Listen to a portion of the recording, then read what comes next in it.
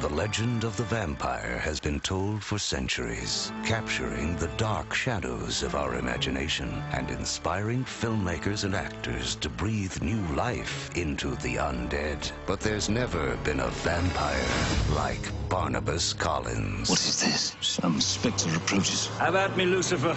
My soul is prepared. I'd always been sort of attracted to horror films and things like that, even as a very young kid. I said, Tim, we should do a vampire movie together. My name is Barnabas Collins. Two centuries ago, I made Collinwood my home, My love.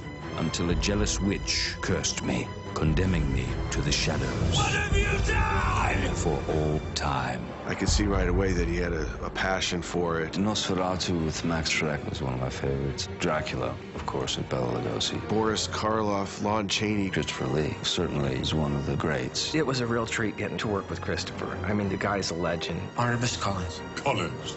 Why does a Colin want to talk to me? One of my favorite moments I've ever been able to experience in a film was I got to hypnotize Dracula. I got to hypnotize Christopher Lee.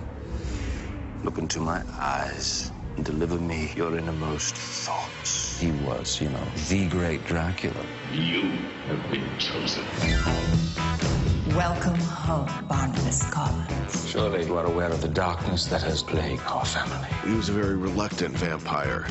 I am terribly sorry. I cannot imagine how thirsty I am. For Barnabas, everywhere I searched character-wise, I kept coming back to Jonathan Frid. Really did something beautiful with that character on the Dark Shadows series back in the 60s and early 70s. Have there been others like myself? No, you're the only one I've encountered. If you look closely during the ball, there's the original cast members from the show, including Jonathan Frid, the original Barnabas. They walk through the door as guests. Welcome to Collinwood.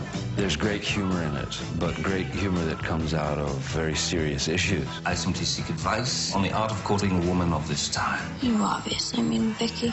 She has the most fertile, bursting hips I have ever laid eyes upon.